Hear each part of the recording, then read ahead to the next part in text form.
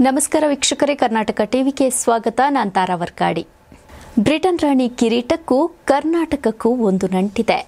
ಸೂರ್ಯ ಮುಳುಗದ ಸಾಮ್ರಾಜ್ಯದಲ್ಲಿ ಇಂದಿಗೂ ಕರ್ನಾಟಕದ ಸಂಪತ್ತನ್ನು ತಲೆ ಮೇಲೆ ಹೊತ್ತು ತಿರುಗಾಡುತ್ತಿದ್ದಾರೆ.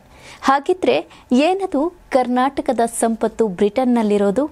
ಎಲ್ಲಿದೆ ಕಂಪ್ಲೀಟ್ ಡೀಟೇಲ್ಸ್. ಬ್ರಿಟನ್ ರಾಣಿ ಕಿರೀಟಕ್ಕೂ ಇತಿಹಾಸ ಪುಟ ತಿರುವಿದ ತಕ್ಷಣ ರಕ್ತಚಿತ್ತವಾದ ಬರಹಗಳ ಜೊತೆ ನಮಗೆ ದೊರೆಯುವುದೇ ಸಂಪತ್ತಿನ ಸರಮಾಲೆಗಳ ಮೇಲಿನ ಸರ್ವಾಧಿಕಾರ. ಬ್ರಿಟನ್ ಇತಿಹಾಸ ಪುಟದಲ್ಲೂ ಕರುನಾಡ ಜೊತೆಗಿನ ನಂಟೊಂದು ಇದೀಗ ಚರ್ಚೆಯಾಗುತ್ತಿದೆ. ಸಂಪದ್ಭರಿತ ರಾಷ್ಟ್ರದಲ್ಲೂ ಕರುನಾಡ ಕೀರ್ತಿಯನ್ನು ರಾಣಿಯ ತಲೆ ಮೇಲೆ ಹೊತ್ತಿದ್ರು ಎನ್ನಲಾಗಿದೆ. ಹೌದು. ಬೆಟ್ಟದ ಮೇಲಿನ ನೆಲ್ಲಿಕಾಯಿಗೂ ಸಮುದ್ರದ ಉಪ್ಪಿಗೂ ಎಲ್ಲಿಂದ ಎಲ್ಲಿಗೆ ಸಂಬಂಧವಯ್ಯ ಎಂದು ನೀವು ಕೇಳಬಹುದು. ಆದರೆ ಈ ಸುದ್ದಿ ಕೇಳಿದರೆ ನೀವು ಆಶ್ಚರ್ಯ ಪಡೋದಂತೂ ಗ್ಯಾರಂಟಿ. ಬ್ರಿಟನ್ ರಾಣಿಯ ತಲೆ ಮೇಲೆ ಹೊಳೆಯೋ ಆ ಕಿರೀಟಕ್ಕೂ ಕರುನಾಡಿಗೂ ಒಂದು ನಂಟಿದೆ. ಇದೀಗ ಬ್ರಿಟನ್ ರಾಣಿ ಎಲಿಜಬೆತ್ ನಿಧನದ ನಂತರ ಅವರು ಧರಿಸುತ್ತಿದ್ದ ಕೊಹಿನೂರು ವಜ್ರದ ಕಿರೀಟದ ಕುರಿತು ಚರ್ಚೆ ಜೋರಾಗಿದೆ. ಎಲಿಜಬೆತ್ ರಾಣಿ ಧರಿಸುತ್ತಿದ್ದ ಕಿರೀಟದಲ್ಲಿದ್ದ ವಜ್ರ ಇದು ಭಾರತದ್ದು ಎನ್ನುವುದು ಮತ್ತೆ ಮುನ್ನೆಲೆಗೆ ಬಂದಿದೆ. ಆದರೆ ಇದು ಕೃಷ್ಣಾ ನದಿ ತೀರದಲ್ಲಿ ದೊರೆತ ಡೈಮಂಡ್ ಆಗಿದ್ದು, ಕರ್ನಾಟಕದ ಸ್ವತ್ತು ಎನ್ನಲಾಗುತ್ತಿದೆ. ಬ್ರಿಟನ್ ರಾಣಿ ಎರಡನೇ ಎಲಿಜಬೆತ್ ನಿಧನ ನಂತರ ರಾಣಿಯ ಕಿರೀಟದಲ್ಲಿದ್ದ ಕೊಹಿನೂರು ವಜ್ರದ ಮೂಲ ಮತ್ತೆ ಮುನ್ನೆಲೆಗೆ ಬಂದಿದೆ. ಈ ವಜ್ರ ಭಾರತದ್ದು. ಅದರಲ್ಲೂ ಕರ್ನಾಟಕದ ಯಾದಗಿರಿಯಲ್ಲಿ ಸಿಕ್ಕಿತು ಅನ್ನಲು ಕೆಲವೊಂದು ದಾಖಲೆಗಳು ಕೂಡ ಸಿಕ್ಕಿವೆ. ಯಾದಗಿರಿ ಜಿಲ್ಲೆಯ ಶಹಾಪುರ ತಾಲೂಕಿನ ಕೊಳ್ಳೂರು ಗ್ರಾಮದ ಹೊರಭಾಗದಲ್ಲಿ ಹರಿಯುವ ಕೃಷ್ಣಾ ನದಿ ತೀರದಲ್ಲಿ ಸಿಕ್ಕಿತ್ತೆನ್ನಲಾಗಿದೆ ವಜ್ರ ಸಿಕ್ಕ ಸ್ಥಳವೆಂದು ಸುರಪುರ ಇತಿಹಾಸ ಸಂಶೋಧನಾ ಕೇಂದ್ರದಿಂದ ನಾಮಫಲಕ ಹಾಕಲಾಗಿದೆ. ಡೈಮಂಡ್ ಸಿಕ್ಕ ಸ್ಥಳದಲ್ಲಿ ಮರಳು ಗಣಿಗಾರಿಕೆ ಕೂಡ ನಿಷೇಧ ಮಾಡಲಾಗಿದೆ. ಆದರೆ ವಜ್ರ ದೊರೆತ ಸ್ಥಳವು ಈಗ ಹಾಳು ಕೊಂಪೆಯಾಗಿರುವುದು ಮಾತ್ರ ಶೋಚನೀಯ. ಸಾವಿರದ ಏಳ್ನೂರ ತೊಂಬತ್ತೊಂಬತ್ತರಲ್ಲಿ ಬ್ರಿಟಿಷ್ ಕ್ಯಾಪ್ಟನ್ ಲಾರೆನ್ಸ್ ಪಂಜಾಬ್ ಗೆದ್ದ ನಂತರ ಖಜಾನೆಯಲ್ಲಿದ್ದ ವಜ್ರವು ಬ್ರಿಟಿಷರು ದೋಚಿಕೊಂಡು ಹೋಗಿರ್ತಾರೆ. ಅದನ್ನೇ ರಾಣಿ ವಿಕ್ಟೋರಿಯಾ ಬ್ರೂಚ್ರವರು ಕಿರೀಟದಲ್ಲಿ ಧರಿಸ್ತಾರೆ. ಆದರೆ ಮಹಿಳೆಯರು ಮಾತ್ರ ಕೊಹಿನೂರು ವಜ್ರವನ್ನು ಧರಿಸಬೇಕೆಂದು ಆದೇಶ ಮಾಡಿದ ಹಿನ್ನೆಲೆ ನಂತರ ಬಂದ ರಾಣಿ ಎಲಿಜಬೆತ್ ಕೊಹಿನೂರು ವಜ್ರ ಕಿರೀಟ ಧರಿಸ್ತಾರೆ. ಇದೀಗ ಎರಡನೇ ಎಲಿಜಬೆತ್ ನಿಧನ ನಂತರ ಕೊಹಿನೂರು ವಜ್ರದ ಬಗ್ಗೆ ಸಾಕಷ್ಟು ಚರ್ಚೆಯಾಗ್ತಿದೆ.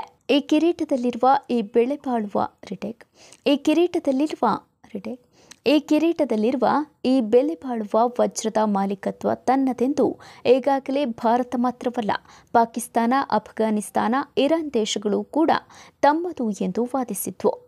ತಮಗೆ ಆ ವಜ್ರದ ಕಿರೀಟವನ್ನು ನೀಡಬೇಕೆಂದು ಒತ್ತಾಯಿಸ್ತಿವೆ ಆದರೆ ಬ್ರಿಟನ್ ಸರ್ಕಾರ ಮಾತ್ರ ಈ ಯಾವುದೇ ವಾದಗಳನ್ನು ಪುರಸ್ಕರಿಸಿಲ್ಲ. ಸಾವಿರದ ಒಂಬೈನೂರ ಎಪ್ಪತ್ತೆರಡರಲ್ಲಿ ಈ ಕಿರೀಟವನ್ನು ಸಾವಿರದ ಒಂಬೈನೂರ ಮೂವತ್ತೇಳರಲ್ಲೇ ತಯಾರಿಸಲಾಗಿತ್ತು.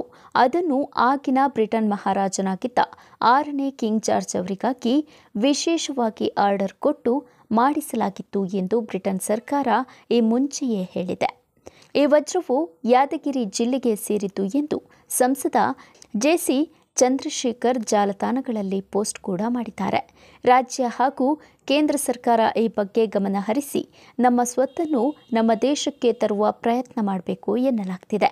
ಕಿರೀಟದಲ್ಲಿರುವ ವಜ್ರ ನೂರ ಐದು ಪಾಯಿಂಟ್ ಆರು ಕ್ಯಾರೆಟ್ನಷ್ಟು ಶುದ್ಧತೆಯನ್ನು ಹೊಂದಿದ್ದು ಇದು ರಾಜಮನೆತನದ ಪ್ರತಿಬಿಂಬ ಎಂಬಂತೆಯೇ ಬಣ್ಣಿಸಲಾಗಿದೆ. ಸಾವಿರದ ಎಂಟುನೂರ ನಲವತ್ತೊಂಬತ್ತರಲ್ಲಿ ಭಾರತದ ಪಂಜಾಬ್ ಪ್ರಾಂತ್ಯವನ್ನು ಬ್ರಿಟಿಷರು ವಶಪಡಿಸಿಕೊಂಡಾಗ ಆ ಪ್ರಾಂತ್ಯದ ವಶದಲ್ಲಿದ್ದ ಎಲ್ಲ ವಸ್ತುಗಳು ಬ್ರಿಟಿಷರ ಪಾಲಾದವು. ಅದರಂತೆ ಆ ರಾಜನ ವಶದಲ್ಲಿದ್ದ ಕೊಹಿನೂರು ವಜ್ರವು ಬ್ರಿಟಿಷರ ಪಾಲಾಯಿತು. ಅದನ್ನು ಬ್ರಿಟನ್ಗೆ ರವಾನಿಸಲಾಗುತ್ತೆ. ಅದರ ಬೆಲೆ ಕಟ್ಟಲಾಗದ ಮೌಲ್ಯವನ್ನು ಅರಿತ ರಾಜಮನೆತನ ಅದನ್ನು ರಾಜನ ಕಿರೀಟದಲ್ಲಿ ಅಳವಡಿಸಿದ್ರು. ಇತಿಹಾಸಕಾರರು ಹೀಗೆಂದು ಹೇಳ್ತಾರೆ. ಆದರೆ, ಈ ವಜ್ರವು ಕರ್ನಾಟಕದಲ್ಲಿ ದೊರೆತಿತ್ತು ಎಂಬುದು ಅನೇಕ ಬಾರಿ ಮರೆಮಾಚುತ್ತಾರೆ.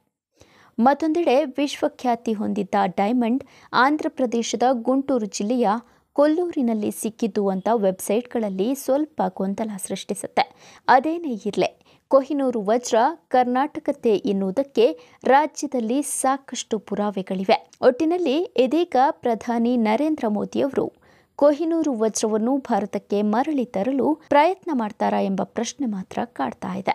ಒಟ್ಟಾರೆ ಪ್ರಧಾನಿ ಮೋದಿ ಈಗ ಬ್ರಿಟನ್ನಲ್ಲಿರೋ ಕೊಹಿನೂರು ವಜ್ರವನ್ನ ಭಾರತಕ್ಕೆ ತರುತ್ತಾರಾ ಎಂಬ ಪ್ರಶ್ನೆ ಮೂಡಿದೆ.